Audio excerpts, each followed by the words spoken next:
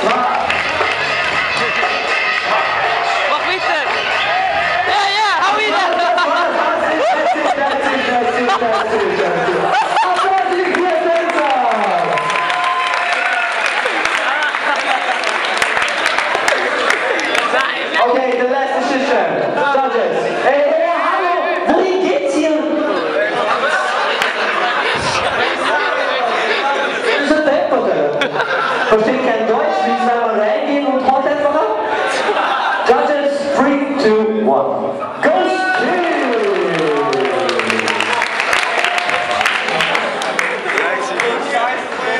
cool, ne?